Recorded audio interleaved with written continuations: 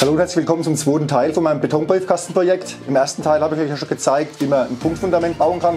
Das war ja kein Problem. Und heute geht es weiter mit der Herstellung von dem Briefkasten. Ja, ich würde sagen, wünsche euch viel Spaß. Wir legen los.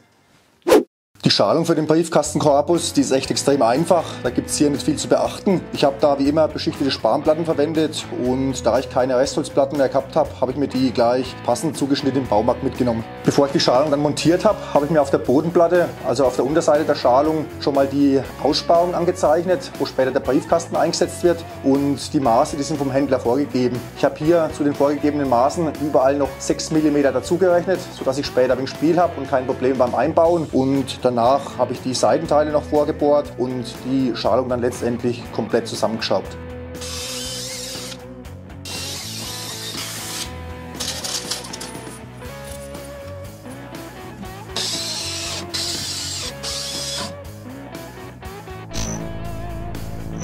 Die Stöße müssen dann rundum noch mit einer Silikonfuge abgedichtet werden, sodass dann später kein Wasser auslaufen kann und dadurch werden dann die Kanten auch leicht abgerundet.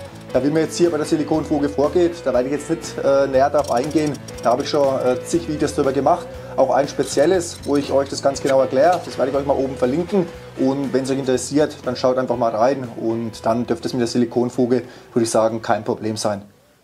Die Modellierkugeln, die kann ich euch echt empfehlen. Die kosten ein paar Euro und damit bekommt man auch als Anfänger echt gute Fugen hin. Und die Überstände von dem Silikon, ja, die kann man dann mit der Hand ganz einfach abziehen, sobald es ein bisschen angezogen hat. Für die Aussparung von dem Einbaubriefkasten verwende ich hier so Styrodur und Styroporplatten und die schneide ich mir jetzt erstmal auf der Tischkreissäge zurecht. Die Styrodurplatten kann man natürlich auch ganz einfach mit dem Cuttermesser zuschneiden. Ja, da braucht man keine Tischkreissäge dazu. Mit der Säge ist es allerdings einfacher, weil man dann immer einen genau rechtwinkligen Schnitt hat.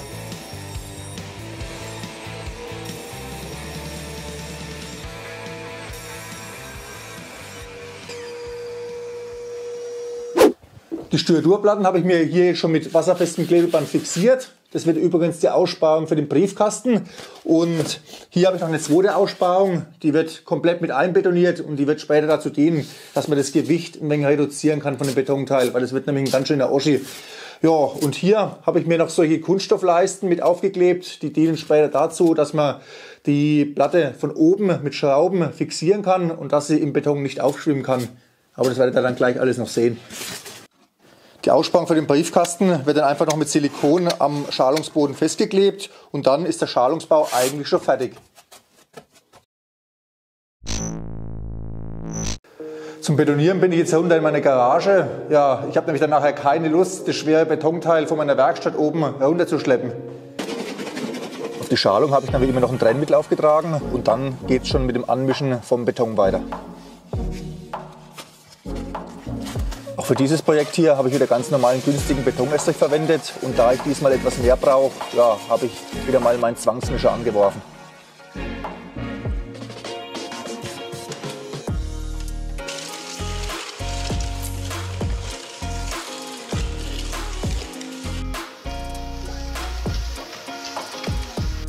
Zur einfachen Verarbeitung werde ich jetzt hier noch ein Fließmittel zugeben. Das ist ein Produkt von der Firma Hebau und das sorgt letztendlich dafür, dass der Beton fließfähiger wird und sich einfacher verdichtet. Ja, dann können wir auch gleich mit dem Betonieren weitermachen.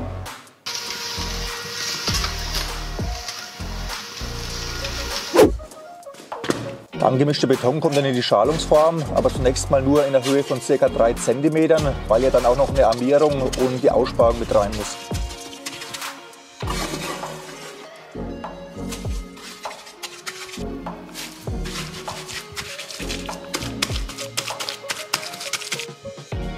Zur Armierung habe ich hier wieder so ein Gewebe verwendet. Das wird einfach in den Beton eingelegt und leicht eingearbeitet. Dann kommt der Styroporkern rein, der wird mit einbetoniert und den muss man leicht fixieren, sodass er nicht aufschwimmen kann. Jetzt seht ihr auch, warum ich die Kunststoffleisten vorhin aufgeklebt habe. Und jetzt kann die Schalungsform dann bis zur Oberkante mit Beton aufgefüllt werden.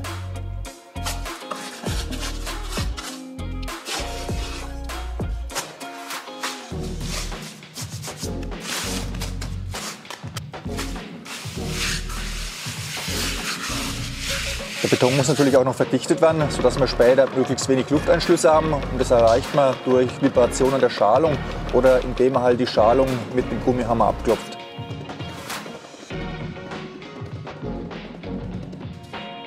Die Rückseite von dem Briefkasten wird später auch sichtbar sein. Das bedeutet, dass wir die auch relativ glatt bekommen müssen. Ich habe dazu die ganze Fläche erstmal mit einer Holzlatte abgezogen, sodass alles gerade ist. Dann habe ich kurz gewartet, das Ganze nochmal ein bisschen angefeuchtet und mit der Glättkelle dann komplett glatt abgezogen.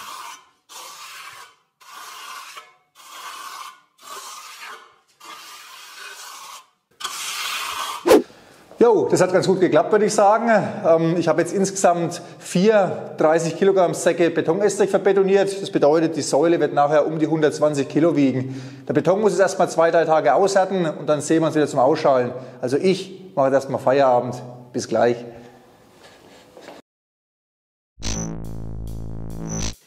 Nach drei Tagen habe ich dann mit dem Ausschalen angefangen. Ja, ich habe diesmal etwas länger gewartet als sonst, weil die Temperaturen aktuell ziemlich kühl sind und das Wetter ziemlich nasskalt. Da dauert es auch etwas länger, bis der Beton dann ausgehärtet ist.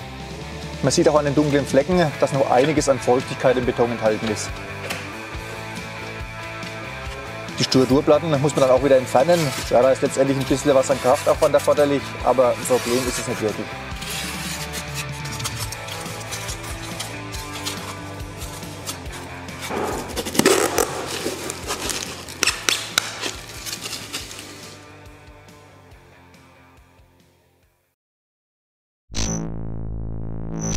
Jo, das sieht ja schon mal ganz gut aus, würde ich sagen. Ich habe jetzt zwischenzeitlich schon mal die Oberfläche versiegelt. Da habe ich zwei Produkte in Kombination miteinander verwendet. Das war einmal eine Hydrophobierung und dann nochmal ein Graffiti-Schutz.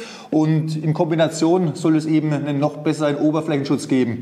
Habe ich bisher auch noch nicht getestet. Ich werde euch berichten, wie sich die Versiegelung schlägt. Und die Produkte findet ihr wie immer unten in der Videobeschreibung. Dann zeige ich euch auch gleich mal den Briefkasten, den ich hier einbauen werde. Das ist der hier. Der ist von der Firma ZED und wie ihr sehen könnt, ist das ein Einbaubriefkasten.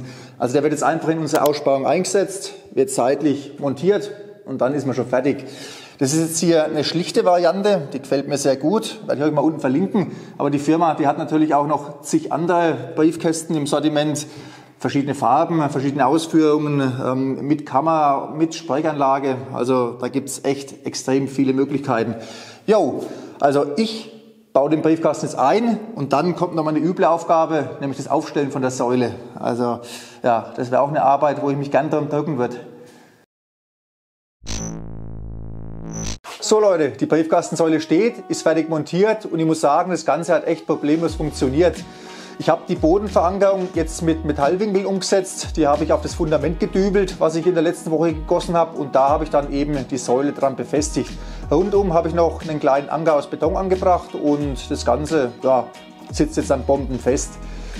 Ihr seht, der Beton hat noch ein paar dunkle Stellen, ja, ist noch ungleichmäßig. Das liegt daran, dass im Beton noch Feuchtigkeit enthalten ist. Die wird in den nächsten Tagen oder ja, vielleicht in ein, zwei Wochen dann komplett verdunstet sein und dann soll das Oberflächenergebnis eigentlich gleichmäßig sein. Dauert halt bei dem Wetter ein bisschen länger, weil es halt ziemlich nasskalt ist aktuell.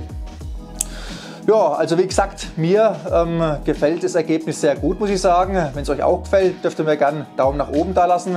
Schreibt gerne einen Kommentar, auch wenn ihr irgendwelche Verbesserungsvorschläge habt. Und dann bedanke ich mich fürs Zuschauen. Ich hoffe, dass ihr nächste Woche wieder einschaltet. Bis dahin wünsche ich euch alles Gute, wünsche euch viel Spaß beim Heimwerken. Macht's gut. Ciao.